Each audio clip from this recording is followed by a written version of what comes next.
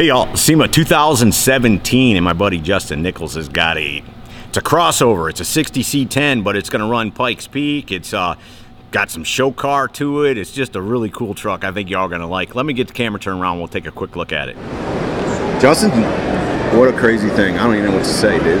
I, I mean, I don't know where to start. You put it like everything a show truck, a race truck, uh, every kind of truck is what you attempted to do here. Yeah, I think so. We just tried to blend everything together. You know, we're we usually do the high end. You know, try and mix a little bit of race inspired. Right. But this one is just a show truck finish, uh, but it's a race truck. Right. You know, we've already beat on it a little bit. You know, over the last week, but uh, no, we just wanted to do something totally different with the C10.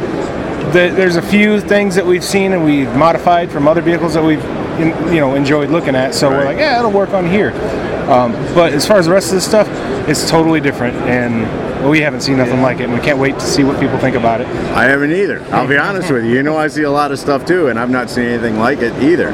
Sure. But you're taking it to Pikes Peak.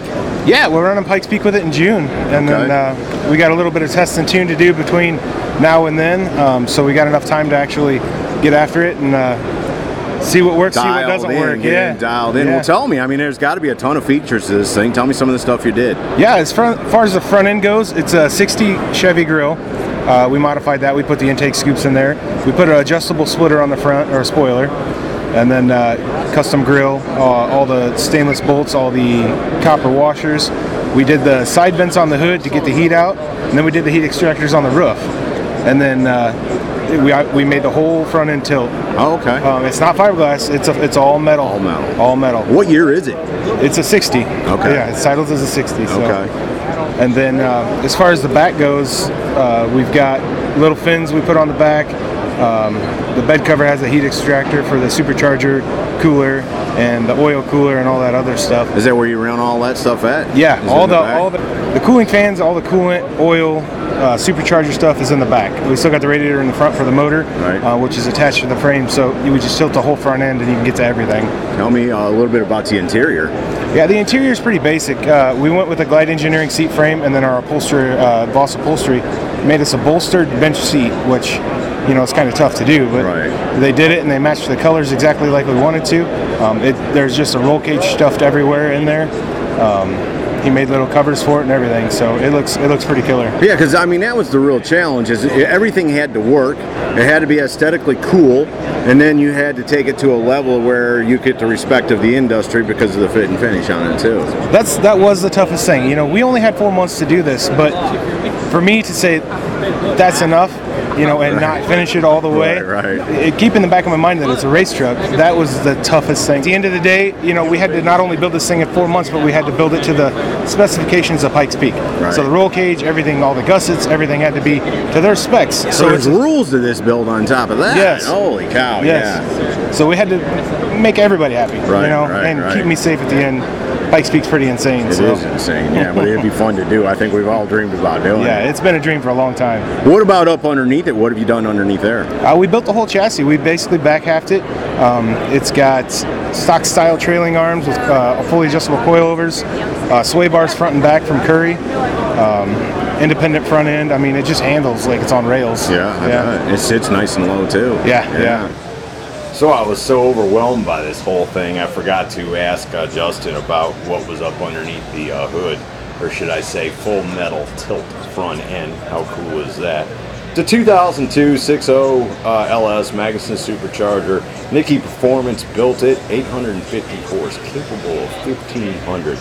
It's got the uh, TKO 5 speed, QA1 carbon fiber drive shaft. How cool is that? I'd like to have one of those. And a Currie 9 inch 411 gear and some Flowmaster exhaust. But again, nicely done for a race truck. It's And what there. wheels are you running? Uh, Billet Specialties actually made us a one-off set of wheels for it.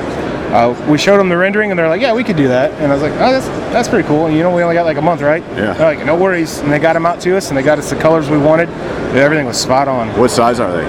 They're 18, 18 by 10, 18 by 12 in the back. Okay. And, and we got to give Valspar a shout out because this color has obviously got a lot of people's attention. What what's it called? And tell me a little bit about it. Of course, it's uh, it's actually we started with sublime green and then just added some yellows to it, some other colors just to get it as bright as possible. So it's a custom mix. It is, and we can sell it too. Okay, so they've registered it. Yeah, Okay. yeah. Is there a code or something if people's Uh, interested? not yet, but I you contact me. I can give you the code. And tell me your social media. if People do want to contact you. Yeah, it's Nichols Paint and Fab. Uh, just find us on Instagram or Facebook, uh, or you can come to my page and send me a friend request, and Be I might be your friend. That's right. I might be your friend. I'm glad you're my friend, brother. Yeah, same here, man. Y'all rocked it, and uh, I know that you have an unveil coming up here at two o'clock, and I bet uh, you'll have the show talking on shortly after that. I hope so. brother. Thanks so much for giving me some time. Yeah, man. Thank you. So there you go from the SEMA Show 2017, a 1960 Chevy C10 from Nichols Paint and Fab. Kind of a race truck, show truck, very cool truck, that's for sure. Hope you all have enjoyed it.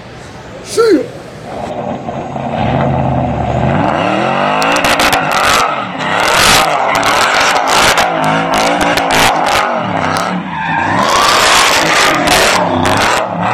Hey, y'all, make sure you subscribe to this channel and visit ScottieDTV.com for an easy way to search the hundreds of videos I have posted.